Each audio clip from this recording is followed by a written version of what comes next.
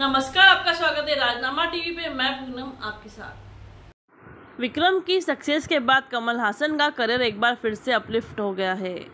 कमल ने हाल ही में प्रभास दीपिका पादुकोण और अमिताभ बच्चन स्टार फ़िल्म कलिक अट्ठावीस सौ अंठानवे ए डी कास्ट ज्वाइन की है। इसके अलावा वे शंकर निर्देशित फ़िल्म इंडियन टू में भी नज़र आएँगे।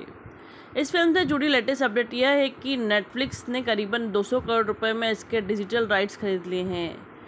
ये राइट सभी लैंग्वेज के हैं। डेवलपमेंट से जुड़े एक सोर्स ने बताया कि शंकर ने इंडियन टू में बहुत ही कमाल का काम किया है। जिन लोगों ने फ़िल्म के पोर्शन देखे हैं, वो इसके रिज़ल्ट से बहुत खुश है। रिपोर्ट्स की माने तो यह फ़िल्म वहीं से शुरू होगी जहाँ से इसके फ़र्स्ट पार्ट का एंड हुआ था। इसका मतलब है कि इंडियन टू में कमल का किरदार नब्बे साल के शख्स का होगा। फ़िल्म में मेकअप आर्टिस्ट ने कमल को यह लुक देने में खूब मेहनत की है। इसके लिए कमल को मेकअप करवाने में चार घंटे, जबकि इसको रिमूव करने में दो घंटे लगते थे।